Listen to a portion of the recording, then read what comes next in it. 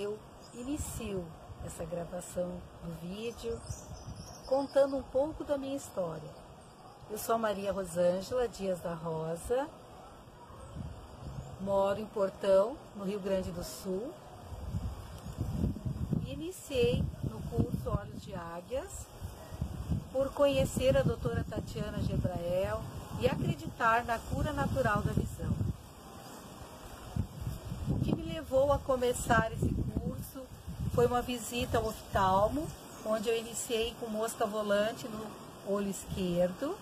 Aí, a partir de alguns exames também, foi alterado alguma, como que eu vou dizer assim, meu nervo óptico tipo, tinha algumas alterações, eu estava com pressão ocular alterada, que aumentou, estava 19, 21,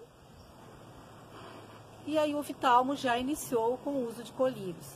Só que eu saí de lá insatisfeita com esse diagnóstico e aí me dediquei a fazer os exercícios.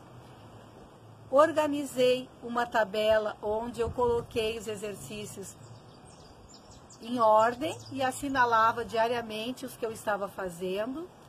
Fui fazendo já também as avaliações e a partir de dois meses voltei ao oftalmo, depois também já da consulta com o coach Maurílio, que orientou muito bem. E a minha pressão ocular havia diminuído para 14, 13 e 14. Já tinha alterado, melhorado a minha visão periférica, que eu vim também avaliando através dos testes visuais. E agora quase não tenho mosca volante. Quero agradecer muito a presença da doutora Tatiana na Terra, que com certeza é uma das secretárias do Divino que vem cumprindo muito bem a sua missão de alterar muito os caminhos das pessoas que estavam sem esperança numa cura natural da visão.